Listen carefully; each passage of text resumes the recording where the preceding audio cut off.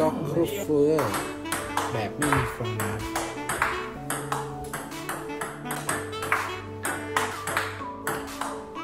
ยางเม็ดยาว Spinlord Stachelfeuer แบบไม่มีฟองน้ำหรือเรียกย่อๆว่ายางเม็ดยาวตัวเม่นไฟละกันสำหรับไม้ที่ผมเอามาติดกับยางเม็ดยาวตัวนี้เนี่ยเป็นไม้ defense นะความเด้งเป็น defense เป็นไม้ธรรมชาติ 5 ชั้นแบรนด์ TSP รุ่น Boxman 2 นะครับผม ก็เอามา test กันสดๆร้อนๆกันวันนี้เลยสำหรับยางเม็ดยาว Spinlord Stachelfeuer แบบไม่มีฟองน้ำนะครับผมเนื้อยางเนี่ยค่อนข้างที่จะมีความละเอียดแล้วก็ค่อนข้างขุ่นเนื้อจะค่อนข้างขุ่นคือมันเป็นเนื้อยางแบบโพลิเมอร์ชนิดพิเศษนะครับผมความแข็งของเม็ดเนี่ย ค่อนข้างออกไปในทางmedium medium มากกว่า คือเป็น medium เลยไม่ไม่ใช่ medium soft หรือ medium hard เป็นแบบ medium เม็ดค่อนข้างเรียบเหนียวแต่ก็ถือว่าเหนียวแบบ ไม่ถึงกับเหนียวแบบติดลูกหนึบอะไรขนาดนั้นนะ จากที่ได้ลองสัมผัสนะครับผมยางเม็ดยาวตัวนี้เนี่ย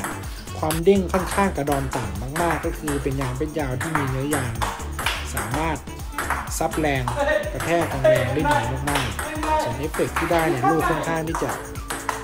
มุดมุดลงปลายโต๊ะไวมากแล้วก็เม็ดยาวตัวนี้เนี่ยค่อนข้างที่จะสลาย ความแรงจากฝ่ายตรงข้ามได้ดีนะครับผมจุดเด่นของยางเม็ดยาวตัวนี้อีกอย่างหนึ่งเนี่ยก็คือเม็ดยาวตัวนี้เนี่ย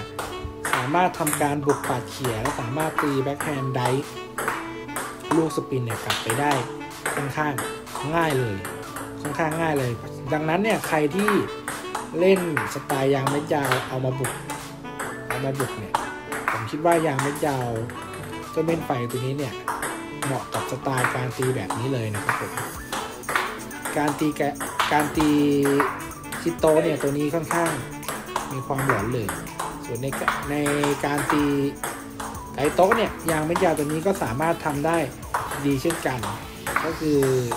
สามารถสับให้ควบคุม control ลูกเนี่ยให้อยู่ในโต๊ะควบคุมได้ค่อนข้างที่จะง่ายนะครับผมส่วนเอฟเฟกต์นี่ก็ถือว่าพอตัวเลยสำหรับยางเม็ดยาว Spinlord Stachelfeuer แบบไม่มีฟองน้ำนะครับผม